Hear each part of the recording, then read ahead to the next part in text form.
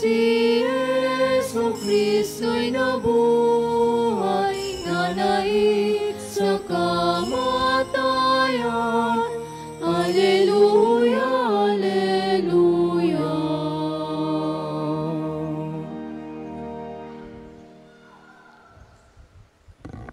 Sa ngalan ng Ama, ng Anak, at ng Espiritu Santo, Amen. ang pagpapala ng ating Panginoong Heso Kristo, ang pag-ibig ng Diyos Ama, at ang pakikipagkaisa ng Espiritu Santo nawa ay sumainyong lahat. At sumainyo rin. Magandang tanghali po sa inyong lahat. Magandang tanghali po, Father.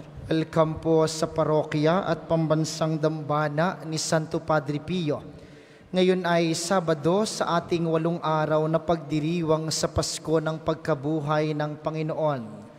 Kaysa po ng lahat ng ating mga intensyon, ipanalangin natin ang lahat ng mga nagpamisa, lahat ng mga nagdiriwang ng kaarawan at anibersaryo sa araw na ito, ang mga patuloy na dumudulog kay Santo Padre Pio para sa kanilang mga kahilingan at karamdaman, at para sa kapayapaan ng kaluluwa ng lahat ng ating mga yumao.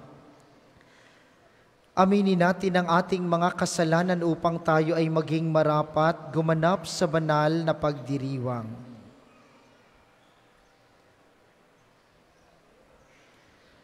Panginoon, nilikha mo ang tao upang pangasiwaan ang mundo. Panginoon, kaawaan mo kami. Panginoon, kawaan mo kami. Kristo, nagpakasakit ka, namatay at muling nabuhay upang tubusin kami. Kristo, kaawaan mo kami. Kristo, kaawaan mo kami. Panginoon, nakaluklok ka sa kanan ng Diyos Ama para ipamagitan kami. Panginoon, kaawaan mo kami. Panginoon, kawaan mo kami. Kaawaan tayo ng makapangyarihang Diyos, patawarin tayo sa ating mga kasalanan at patnubayan tayo sa buhay na walang hanggan. Amen. Gloria in excelsis Deo. At sa lupa'y kapayapaan sa mga taong kinalulugdan niya. Pinupuri ka namin, dinarangal ka namin, sinasamba ka namin, pinagbubunyi ka namin, pinasasalamatan ka namin. Dahil sa dakila mo aking kapulihan,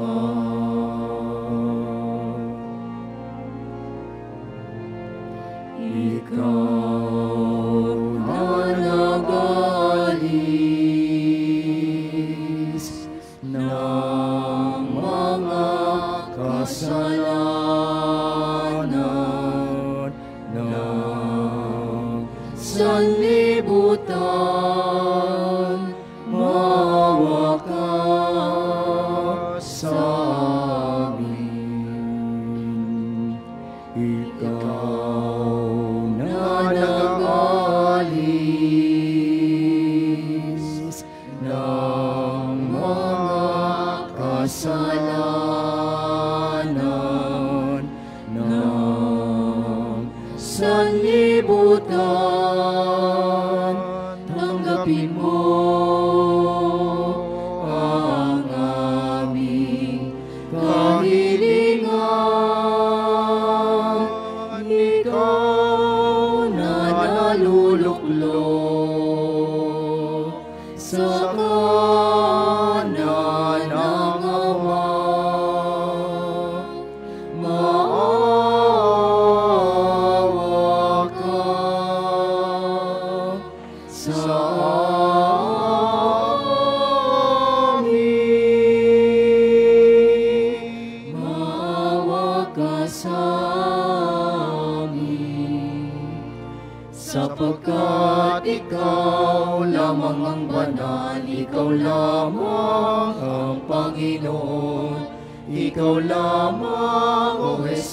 Kristo, ang kataas-taasan, kasama ng Espiritu Santo. Sa kadakilaan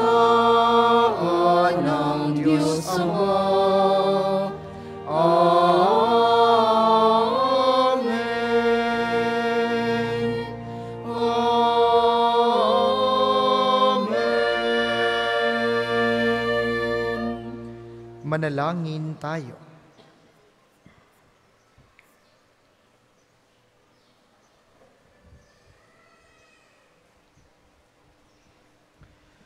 Ama naming makapangyarihan, sa laki ng kagandahang loob mo, pinararami mo ang mga nananalig sa iyo. Tunghayan mo ang iyong mga hinirang na sa tubig ng binyag ay muli mong isinilang, upang bihisan mo ng ligaya ng kawalang kamatayan sa pamamagitan ni Heso Kristo, kasama ng Espiritu Santo magpasawalang hanggan. Amen.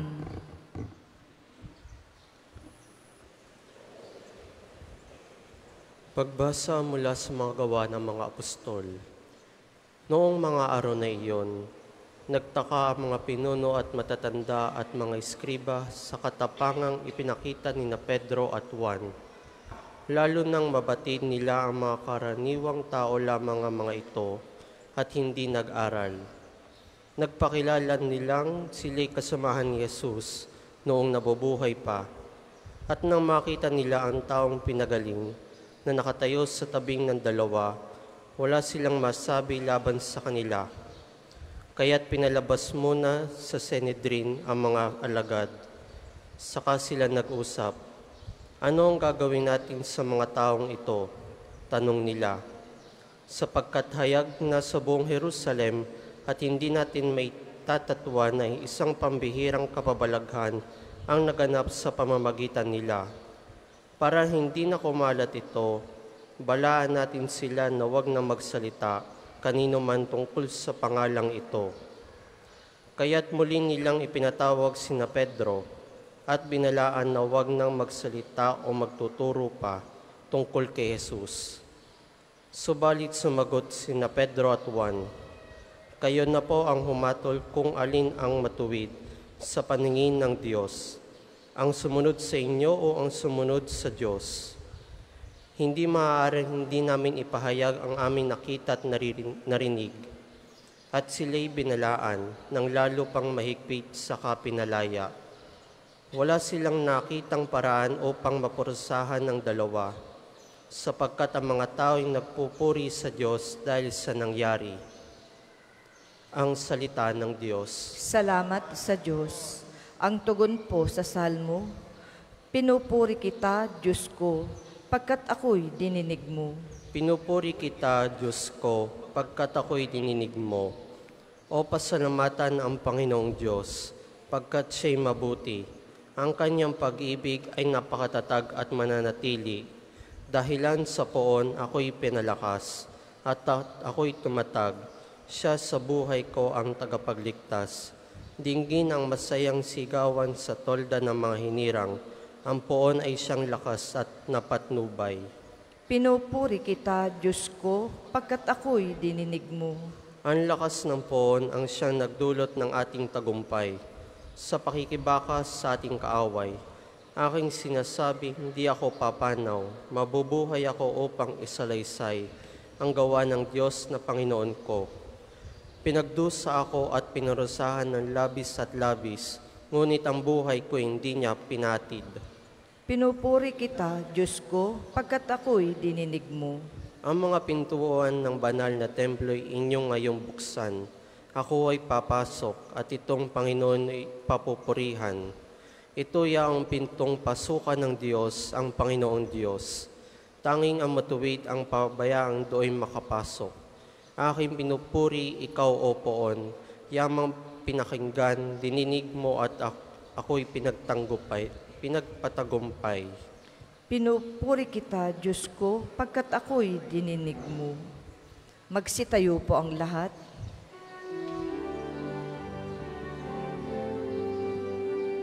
Alleluia, Alleluia,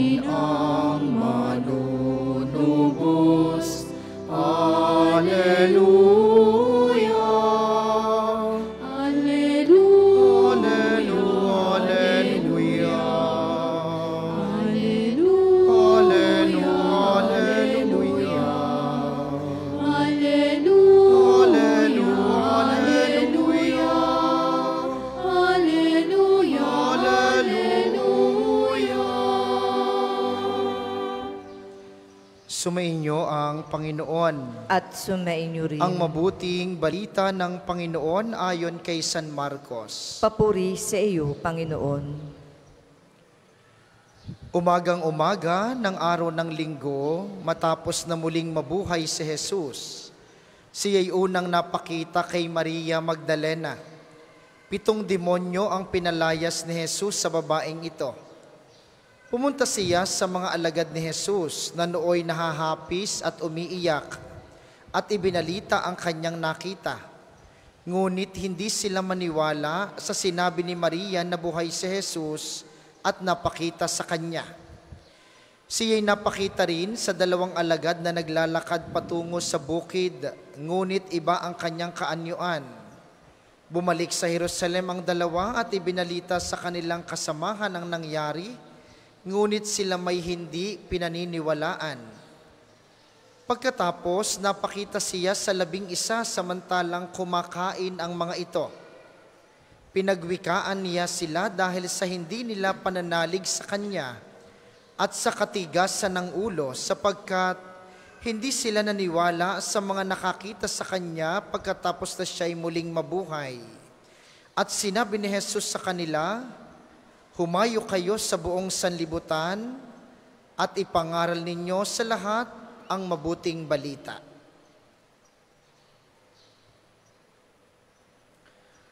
Ang mabuting balita ng Panginoon. Pinupuri ka namin, Panginoong Heso Kristo.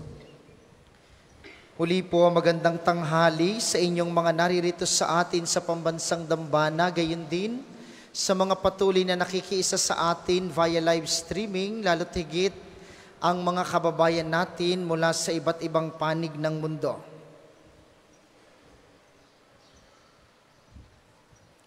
Kayo po ba'y naniniwala na si Jesus ay totoong nabuhay? Ay, huwag ko kayo nakatingin laang sa akin. Sagot kayo. Kaya ako kayo tinatanong eh. Inaantok na agad kayo, nagsisimula pa lang tayo eh. Naniniwala kayong si Kristo ay muling nabuhay? Oh, sigurado kayo? Ay anong dulot ng pagkabuhay sa inyo? Yun ang mas magandang tanong. Napakadaling sabihin, totoo, Father, Si Kristo'y muling nabuhay. Makikita natin sa mga larawan, sa mga simbolo na mayroon tayo, sa liturhiya at mga awitin na mayroon tayo, talagang buhay si Kristo. Ay anong patunay sa buhay mo na buhay si Kristo? Dahil dito, mas madali. O yan, may pagkabuhay, may kandilang pampaskwa na tuwing pagkabuhay lang naman natin nakikita. May awit ng papuri, maganda ang altar. Dito, buhay si Kristo. Ay ang mas magandang tanong, sa buhay mo, paano mo papatunayang buhay si Kristo?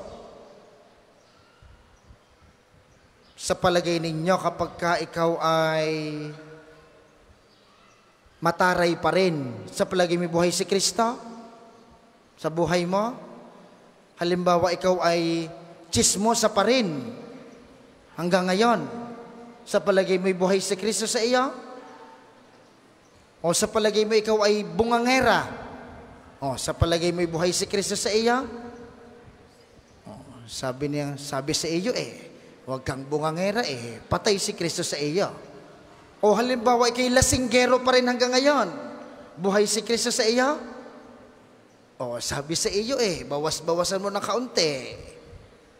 Anong patunay mo na buhay si Kristo? Sapagkat ang mga panlabas, paghahanda, mga awitin, paggagayak, napakadali. Buhay si Kristo. Eh yung sa atin, yun ang mas mahalaga paano mo mapapatunayan sa buhay mo na buhay si Kristo? Pagka ba ikaw ay kasing damot pa rin dati, ay buhay ba si Kristo sa iyo? Yung kapag ka nakikita ka ng iyong mga kapitbahay, wala, nagagalit sila dahil nakita ka sa palagay may buhay si Kristo sa iyo? Mga minamahal, si Jesus sa mabuting balita, may kaunting panunumbat. Ang sabi niya sa mga apostol, matigas ang inyong ulo. Bakit hindi kayo naniniwala sa mga taong nagsasabing buhay na ako? Ano pang gusto ninyong patunay para sabihing buhay na ako? Yun ang nilalaman ng mabuting balita ngayon. Ay sa palagay ninyo, sa mga anak natin, yung ang panggising ninyo ay yung andar ninyong bunganga. Sa palagay ninyo, mararamdaman nilang buhay si Kristo? Sa palagay ninyo, sa inyong magkakapit bahay, yung wala ka nang ginawa, pagising mo na sa umaga, hanggang sa lumubog ng araw, kayong dalawa ng iyong kapitbahay magkaungkutan at nagchichismisan. O buhay si Kristo noon? Ano pong sinasabi sa atin? Ang patunay sa ating buhay na si Kristo'y totoong nabuhay ay yung unti-unting pagpapakabait mo. Yun. Yung unti-unting pagpapakabuti. Hindi naman biglaan. Malimit nyo akong marinig nito. Kahit mamaya pag-uwi ninyo, di andar uli ang bunganga ninyo. Tingnan nyo ha, pag-uwi nyo mamaya. Tapos yung inyong mga anak na dadatnan sa bahay nakaungkot, nakamulamuro sa TV, tambak ang hugasin, makalat ang bahay, o pag hindi naman umandar ang bunganga nyo, kahit galing kayong simbahan, di ka? Pero ang sinasabi ni Kristo, yung unti-unting pagpapakabuti, pagpipilit na bumait, pagpipilit na maging mapagbigay kahit pakao-kaunti. Dahil lagi kong sabi sa inyo, kung kayo sanay na makipagchismisan maghapon sa inyong kapitbahay, bawasan nyo kalahating araw lamang, mamayang hapon, mamahinga ka ng chismisan. O di bumait ka ng kaunti. O, di ka? O halimbawa ikaw ay bianan. Pakialamera ka sa iyong manugang. Kung dati-dati tatlong beses ka sa isang linggong bumibisita sa iyong manugang, kaya hindi na makagalaw ng ayos eh. Ngayon isang beses ka lang bumisita para naman yung iyong manugang makaramdam ng kaunting kalayaan. O halimbawa kayong mag-asawa, Kayo'y lagi nang magkababag. Lagi na kayong magkaaway. Bawasan. Huwag kayong agang-aga, andar ang inyong mga bunganga. Gawin nyo ngayon ang pagmumura ninyo sa hapon para maiba naman. Ano ang gusto kong sabihin sa inyo? Ang pagkabuhay ni Kristo ay magiging totoo lamang kung tayo mismo may kaunting pakikihalo at pakikilahok sa pagkabuhay niya. Yung unting kabaitan, unti-unting magpatawad, unti-unting umunawa, unti-unting umintindi, unti-unting palalimin ang pagmamahal, lalo na sa mga kasama natin sa bahay na napakahirap mahalin. Huwag kayong lalayo. Huwag kayong lalayo agad sa inyong kapitbahay, gayo ang inyong mga anak, ang inyong asawa, ang inyong kasama sa bahay, ay hindi nyo pa kinakausap hanggang ngayon. Sapagkat ang tunay na pagkabuhay ni Kristo, magkakaroon ng katotohanan kung ikaw ay may unti-unting pakikihalo at pakikilahok sa pagkabuhay na iyon ni Kristo. Pilitin mga minamahal na unti-unting magbago. Pilitin mga minamahal na unti-unting bumait, unti-unting maging mabuti. Mahirap hong mamatay ng masama ang ugali. Lalo sa inyo, ay, marami sa inyo gagraduate na maya-maya. Sige. Kayo lagi ng nakasimangot, lagi kayong galit na galit. Pagka namatay, nakasimangot kayo sa kabaong. Pagkakasama ng hitsura ninyo. Kaya dapat habang tayo'y tumatanda, habang tayo'y tumatagal sa buhay na ito, unti-unti tayo nagiging katulad ng pagkabuhay ni Kristo. Unti-unting nagiging mabuti. Madali gaho iyan, mahirap iyon. Pero unti-unti, gawa ng paraan na tayo ay makahalo, makibahagi sa pagkabuhay na iyon ni Kristo. Mamaya sa banal na komunyon, inyong ibulong kay Kristo na ating tatanggapin. Sabihin ninyo sa Kanya, Panginoon, ako po'y bahaginan mo ng kabutihang nanggagaling sa iyo upang mapatunayan ko sa aking buhay na totoong nabuhay ka sa pamamagitan ng aking unti-unting pag-unawa, unti-unting pagpapatawad, unti-unting pagmamahal sa aking kapwa. Para po sa mga maghahandog ng sobre, pakihulog na lamang po sa buslo.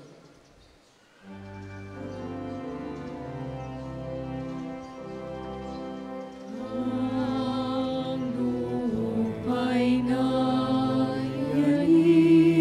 ito din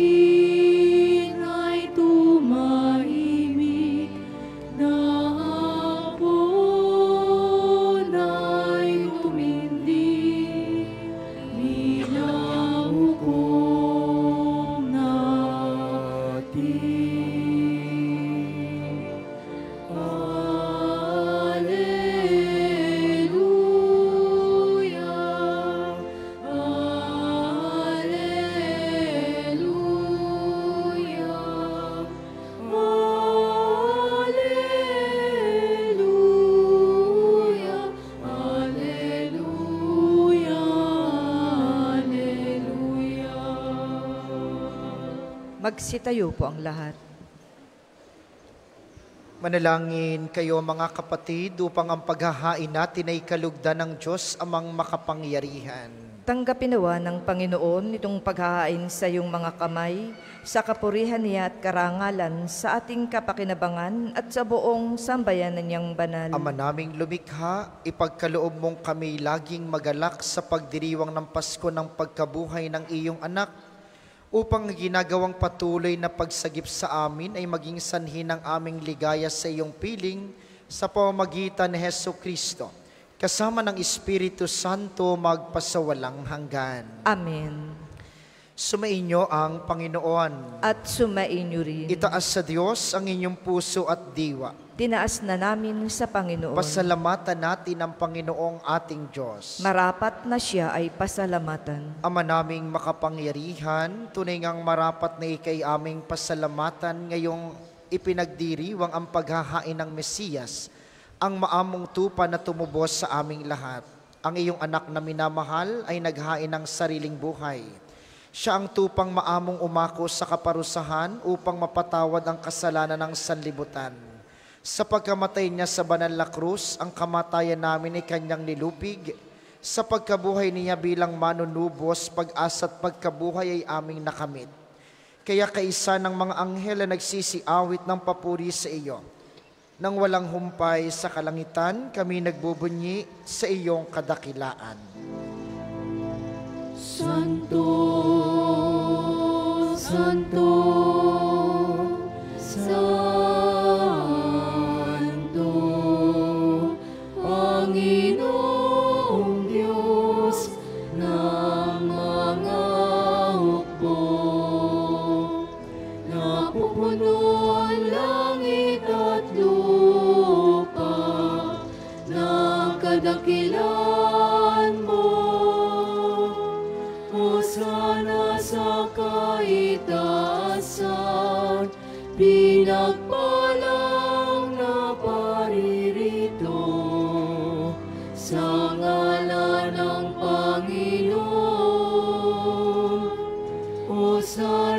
Kung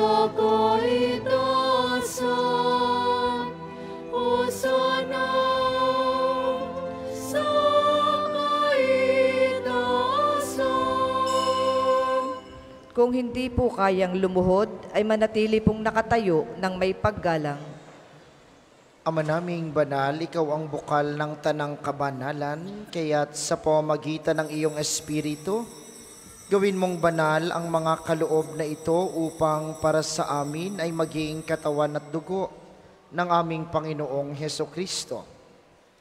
Bago niya pinagtiis ang kusang loob na maging handog, hinawakan niya ang tinapay, pinasalamatan kaniya, pinaghati-hati niya iyon, iniabot sa kanyang mga alagad at sinabi, Tanggapin ninyong lahat ito at kanin, ito ang aking katawan, na ihahandog para sa inyo.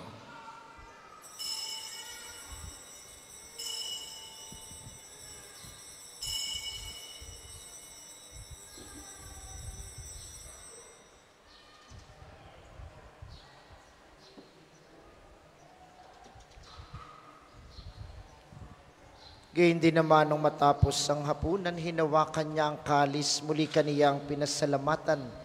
Niabot niya ang kalis sa kanyang mga alagad at sinabi, Tanggapin ninyong lahat ito at inumin, itong kalis ng aking dugo ng bago at walang hanggang tipan, ang aking dugo na ibubuhos para sa inyo at para sa lahat, sa ikapagpapatawad ng mga kasalanan. Gawin ninyo ito sa pag-alala sa akin.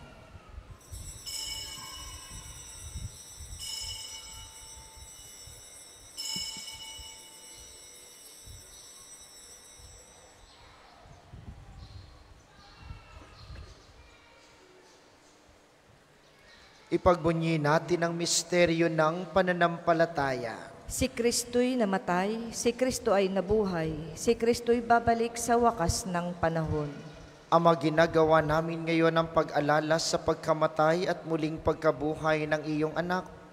Kaya tiniaalay namin sa iyong tinapay na nagbibigay buhay at ang kalis na nagkakaloob ng kaligtasan. Kami nagpapasalamat dahil kami iyong minarapat na tumayo sa harap mo para maglingkod sa iyo. Isinasamo namin kaming magsasalo-salo sa katawan at dugo ni Kristo ay mabuklod sa pagkakaisa sa pamamagitan ng Espiritu Santo. Amalingapin mong iyong simbahang laganap sa buong daigdig. Puspusin mo kami sa pag-ibig kay isa ni Francisco na aming Santo Papa at ni Gilbert na aming obispo at ng Tanang Kaparian. Alalahanin mo rin ang mga kapatid naming nahimlay nang may pag-asang sila'y muling mabubuhay, gayon din ang lahat ng mga pumanaw. Kaawaan mo sila at patuloyin sa iyong kaliwanagan. Kaawaan mo at pagindapatin kaming lahat na makasalo sa iyong buhay na walang wakas, kaysa ng mahal na Birheng Maria ang ina ng Diyos, ni San Jose na kanyang esposo, kaysa ng mga apostol at ng lahat ng mga banal, na namuhay dito sa daigdig ng kalugod-lugod sa iyo. May pagdiwang nawa namin ang pagpupuri sa ikararangal mo sa pamagitan ng iyong anak na aming Panginoong Heso Kristo. Sa pamamagitan ni Kristo kasama niya at sa kaniyang lahat ng parangal at papuri ay sa iyo, Diyos amang makapangyarihan kasama ng Espiritu Santo, magpasawalang hanggan. Amen, Amen.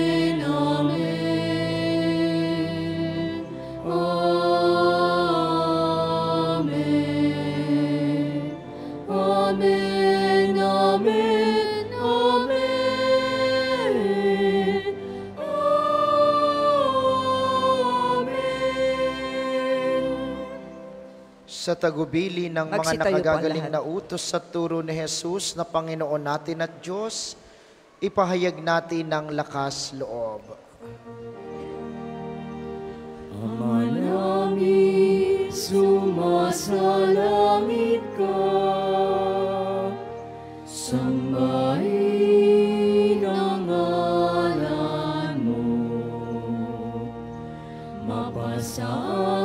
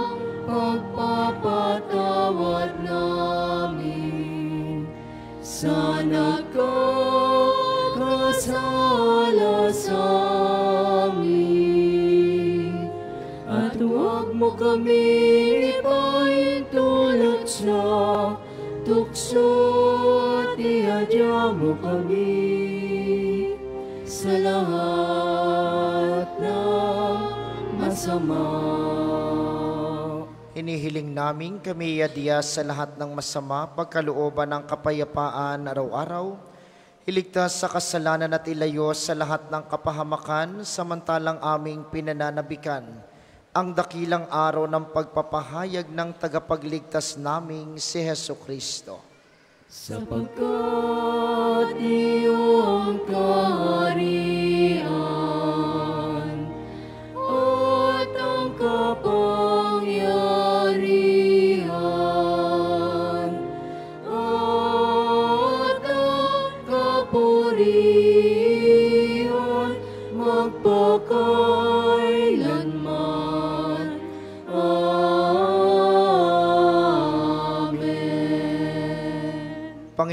Heso Kristo, sinabi mo sa iyong mga apostol, kapayapaan ang iniiwan ko sa inyo, ang aking kapayapaan ang ibinibigay ko sa inyo, tunghayan mo ang aming pananampalataya, at huwag ang aming mga pagkakasala. Pagkalooban mo kami ng kapayapaan at pagkakaisa ayon sa iyong kalooban, kasama ng Espiritu Santo magpasawalang hanggan. Amen. Ang kapayapaan ng Panginoon ay laging sumainyo. At sumainyo rin. Magbigayan kayo ng kapayapaan sa isa't isa. Peace be with you.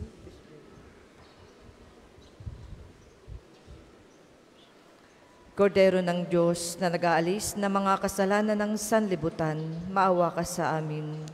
Kordero ng Diyos na nag-aalis ng mga kasalanan ng sanlibutan, maawa ka sa amin. Kordero ng Diyos na nag-aalis ng mga kasalanan ng sanlibutan, ipagkaloob mo sa amin ang kapayapaan. Kung hindi po kayang lumuhod, ay manatili pong nakatayo ng may paggalang.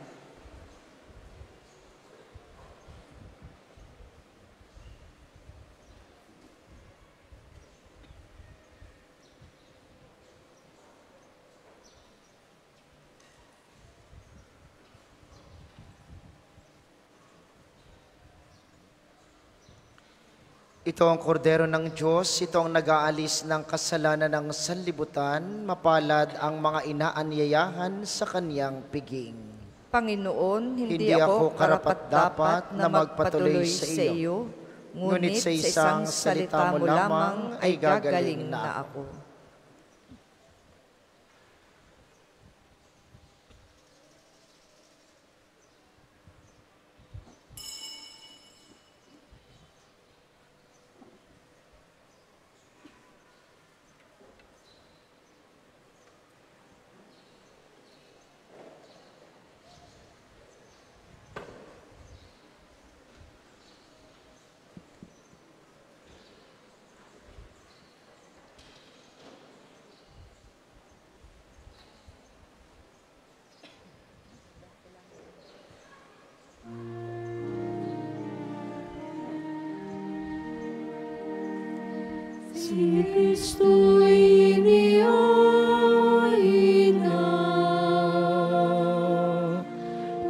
school.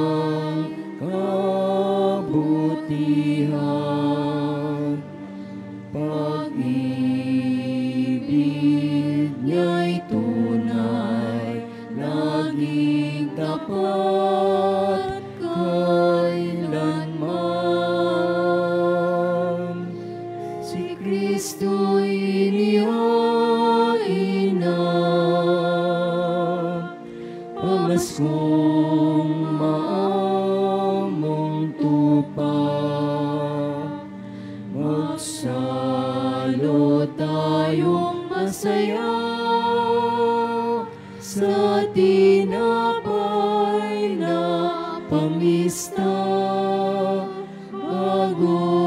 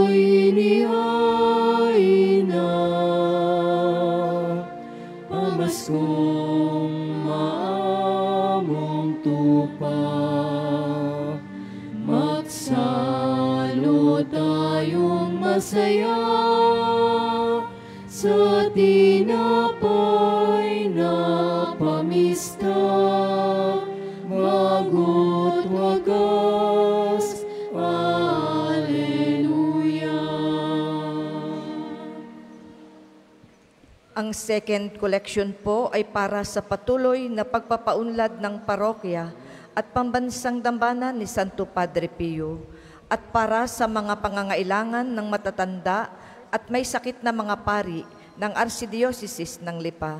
Salamat po sa inyong handog. ang taga-Israel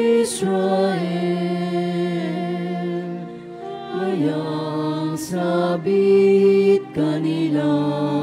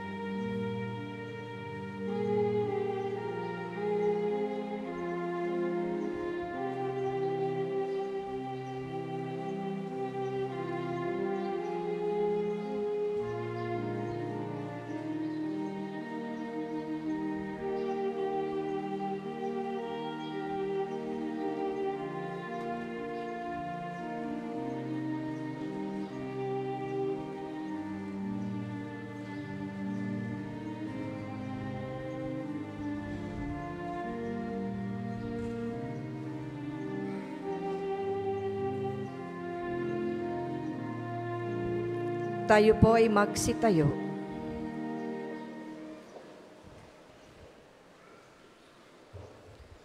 Manalangin tayo. Ama naming mapagmahal, tunghayan mo at lingapin ang iyong sambayanan na minarapat mong makinabang sa piging na pang magpakailanman. Ipagkaloob mong kami maluwalhating makarating sa pagkabuhay na magtatampok sa amin sa iyong piling sa pamamagitan ni Heso Kristo kasama ng Espiritu Santo magpasawalang hanggan. Amen. Panalangin ng pagtitiwala kay Santo Padre Pio, tayo pong lahat. Padre Pio, taga Pietrelcina, mongheng banal, pintakasing santo ng milenyong kasalukuyan, gabay namin sa pagtahak sa landasing makalangit, takbuhan sa pangangailangan, huwaran ng pagtitiis. Sa iyo namin inilalapit aming mga kagipitan. Sa iyo po ibinibilin kalusugan at kabuhayan.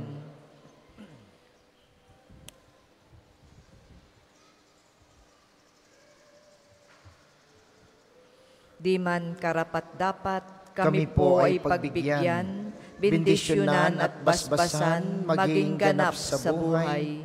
Lumayo nawa kami, umiwas sa kasalanan, lumapit lagi sa Diyos, maging matatag at matibay. Sa mabuting balita ng pagliligtas, turuan mo kami nawa. Sa tuwi na ay makinig, magnilay at sumampalataya. Amin pong pakiusap itong mga kahilingan. Puso ay nagsisisi, nagtitikang taimtiman.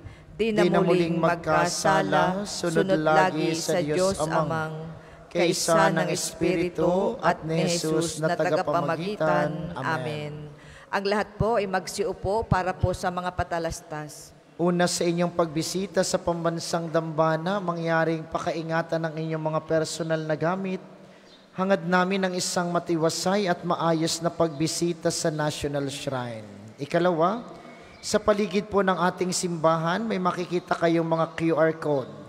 Pakiscan po at pakilagay ng ilang hinihinging detalye tulong sa ating documentation program upang maisaayos natin ang datos ng mga pilgrims at devotees na bumibisita sa pambansang dambana.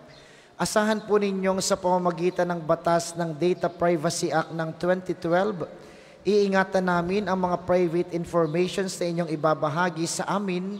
Ang inyong suporta ay malaking tulong sa pagtatagumpay ng proyektong ito. Amin pong pinagbibigay alam sa inyo na ngayong maghapon ang mga kabataan at ilang mga religious congregations ay naririto sa atin sa Divine Mercy para po sa taon ng Vocation Jamboree. Ipagpaumanhin ninyo kung may mga pagkakataong maingay ang ating paligid, ito po ay pagbibigay daan natin upang tayo'y makahikayat ng maraming kabataan na pumasok din sa pagpapari, pagmamadre at maging maalam sa pagpili ng bukasyon nila sa buhay. Sila po ipagdasal natin upang ang maghapong ito ay maging kapakipakinabang para sa kanila at sa kanilang kinabukasan. Maraming salamat sa inyo ang ating sunod na misa mamayang alas dos ng hapon. Inaasahan naming inyong pananatilihin ng kalinisan, katahimikan at diwa ng pananalangin sa loob at labas ng ating simbahan. Muli po kayong magsitayo. Atin pong isasagawa ang pagbabasbas ng religious articles. Mga kapatid, manalangin tayo sa Diyos sa mga makapangyarihan upang tayo'y maging kawangis ni Kristo sa taimtim na pagdalangin sa tulong ng mga larawan at mga dasalan. Inyo pong hahawakan ang inyong mga nais pabasbasan. Isipin ang mga taong nais ninyong ipanalangin at para po sa mga nasa kanilang tahanan, ang panalangin pong ito'y para din sa inyo at sa inyong mga nais pabindisyonan. O Panginoong Diyos, ikaw ang bukal ng lahat ng pagpapala at biyaya. Ibuhos mo ang iyong bendisyon sa mga gamit na ito sa pananalangin, ang mga rosaryo, mga imahen, mga dasalan, mga healing rab at mga miracle oil na nagpapaalaala ng iyong kabutihan, kabanalan at pagmamahal sa amin upang ang lahat na dumulog at magdasal gamit ang mga ito ay magtamo ng iyong awa at biyaya. Loobin mong tularan nila ang kabanalan at aral ng Panginoon at mga santo magpasawalang hanggan. Amen. Ama namin, sumasalangit ka. Sambahin ang ngalan mo. Mapasa amin ang kaharian mo. Sundin ang loob mo dito sa lupa para ng sa langit. Bigyan mo kami ngayon ng aming kakanin sa araw-araw at patawarin mo kami sa aming mga sala para ng pagpapatawad namin sa nagkakasala sa amin. At huwag mo kaming ipahintulot sa tukso at iadya mo kami sa lahat ng masama. Amen. Aba, Ginoong Maria, napupuno ka ng grasya. Ang Panginoong Diyos ay sumasa iyo. Bukod kang pinagpala sa babaing lahat, at pinagpala naman ang iyong anak na si Jesus. Santa Maria, Ina ng Diyos, panalangin mo kaming makasalanan, ngayon at kung kami mamamatay. Amen. Duwalhati sa Ama, sa Anak at sa Espiritu Santo, kapara nung una, ngayon at magpasawalang hanggan. Amen. Ama namin, sumasalangit ka, sambahin ng ngalan mo, mapasa amin ng kaharian mo, sundin ng loob mo dito sa lupa para ng sa langit. Bigyan mo kami ngayon ng aming kakanin sa araw-araw at patawarin mo kami sa aming mga sala para ng pagpapatawad namin sa nagkakasala sa amin. At huwag mo kaming ipahintulot sa tukso at iadya mo kami sa lahat ng masama. Amen. Aba, Ginoong Maria, napupuno ka ng grasya. Ang Panginoong Diyos ay iyo. Bukod kang pinagpala sa babaing lahat, at pinagpala naman ng iyong anak na si Jesus. Santa Maria, Ina ng Diyos, ipanalangin mo kaming makasalanan, ngayon at kung kami mamamatay. Amen. Luwalhati sa Ama, sa Anak, at sa Espiritu Santo, kapara nung una, ngayon, at magpasawalang hanggan. Amen. Luwalhati sa Ama, sa Anak, at sa Espiritu Santo, kapa, kapara nung una, ngayon, at magpasawalang hanggan. Amen.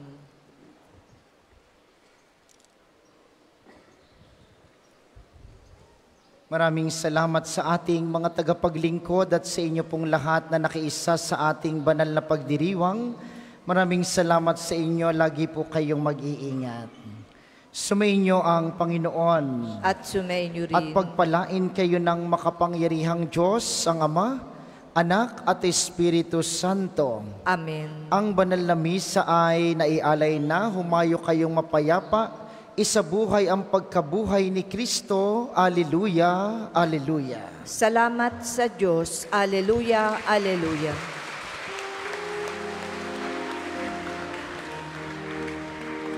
Hallelujah, narito na ang araw na dulot ng Diyos.